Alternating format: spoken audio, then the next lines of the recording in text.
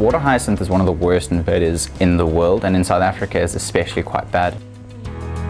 My name is Matt Paper, or Matthew Paper. I work currently for the CBC as a research assistant and I work for the water weeds program at the CBC focusing on water hyacinth. The water hyacinth is a beautiful plant. There's no mistaking, it has a gorgeous purple fluorescence. I mean, bright purple, you can see it from anywhere, from meters away. Um, and this very vibrant green and glossy leaf.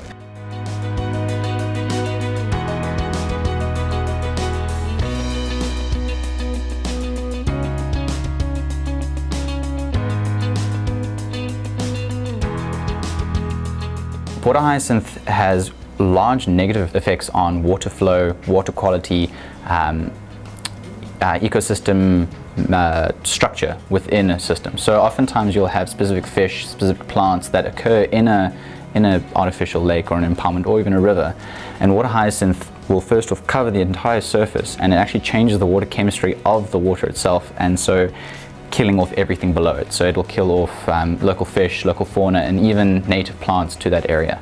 So if you have a single little crown or a single petiole of water hyacinth with just a little bit of root, that will take up and it will just grow and grow and grow. So what I do is um, I have research specifically on a insect called Cornops aquaticum, which is a beautiful looking grasshopper, um, multiple colors, this beautiful green and black. And what it does is it feeds quite extensively on water hyacinth and only on water hyacinth.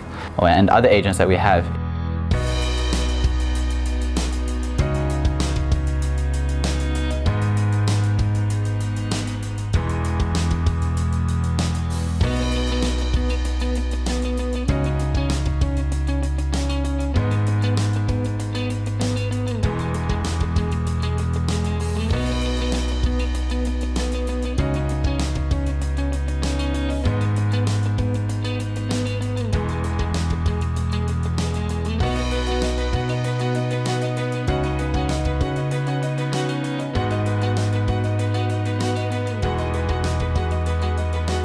And then on each leaf, you look at the different types of damage. So we have a couple agents there at the moment, but Cornops has a really specific damage where it, if you imagine the, the top of the leaf, it kind of shaves the very top layer of the leaf as a nymph.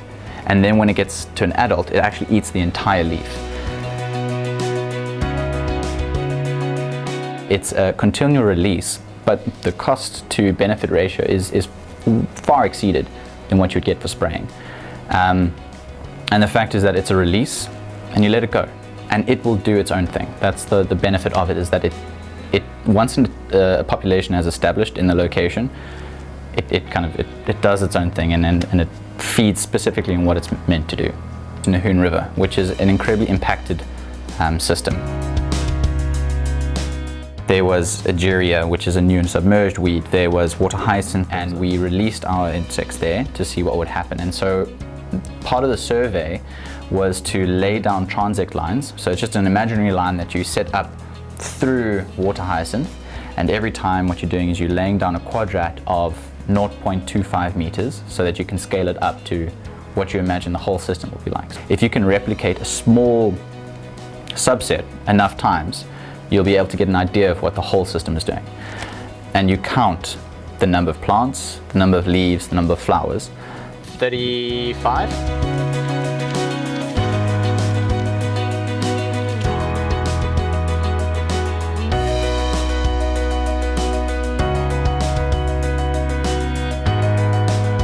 is socially impactful and environmentally impactful in a positive way.